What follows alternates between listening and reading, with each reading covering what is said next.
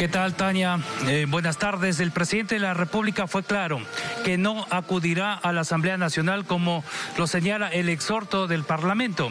Lo hizo durante esta mañana en una entrevista radial con dos medios de comunicación y dijo que remitirá una carta al Pleno de la Asamblea Nacional con el informe de la Contraloría que archivó el proceso de investigación por no encontrar elementos objetivos que demuestren que a la fecha de inscripción de la candidatura para presidente era propietario directo o indirecto de bienes o capitales en jurisdicciones o regímenes considerados como paraísos fiscales.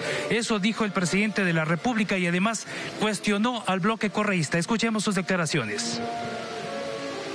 Bueno, esa es la actitud conspirativa, conspiradora que ha tenido el grupo de UNES, el correísmo. Fracasaron. Y yo mandaré una carta a la Asamblea Nacional y le diré, aquí está el informe de la Contraloría. ¿Qué más quiere que le diga? Yo creo que el informe de la Contraloría es contundente y absolutamente claro.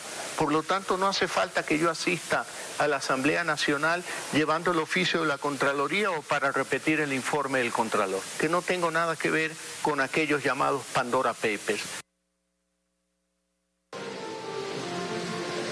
La respuesta del presidente de la República que a esta hora se reúne con el ministro de Comercio Exterior de Francia y 14 empresarios.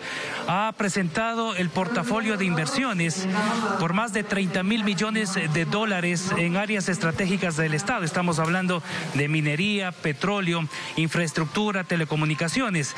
Se suscribirán algunos acuerdos y nosotros estamos pendientes para conocer cuáles eh, son esos acuerdos que se firmarán esta tarde con los eh, delegados de Francia. Este es el informe tarde. Buenas tardes.